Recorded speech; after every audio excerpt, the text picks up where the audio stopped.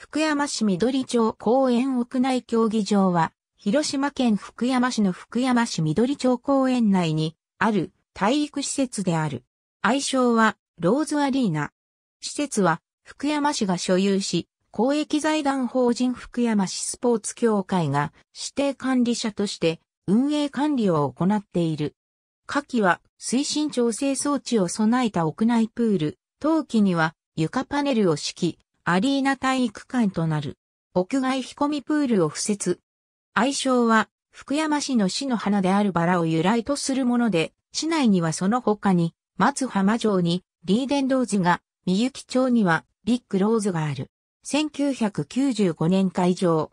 その年の第71回日本選手権水泳競技大会の競泳会場として使用されたのがお年であった。また、1996年、広島国体夏季大会の水泳種会場だった。現在では水泳以外には、プレミアリーグなどのバレーボール、WJBL などのバスケットボール、コンサートの会場として利用されている。